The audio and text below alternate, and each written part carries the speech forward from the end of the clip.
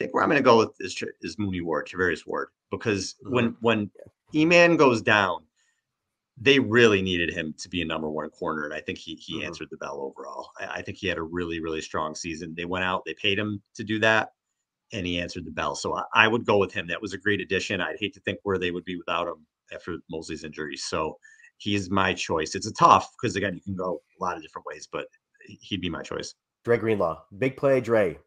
What a fantastic year he's had. He's really come into his own violent player, always around the ball. He had that big interception in Seattle and or the big sorry, the big the big fumble recovery in Seattle, uh force fumble in Seattle. And he is always near the ball, and that's all you can ask out of your linebacker. And when they've when you could you could say that you know the defense hasn't missed a beat since he's been hurt, but I mean that's I think that's a reflection of people around him.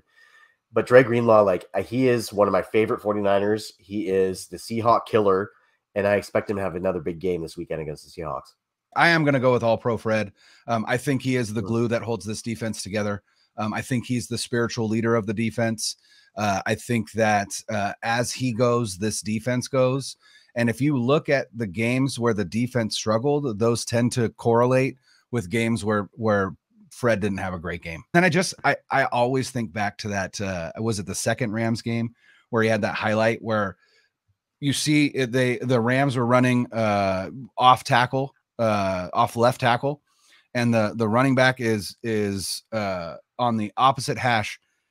You don't even see Fred Warner in the screen and then all of a sudden you just see this missile come into the screen and then he just goes fully horizontal like a missile and just hits Cam Akers and knocks him right on his ass. And I'm like, oh my god, might be one of my favorite plays of the entire season.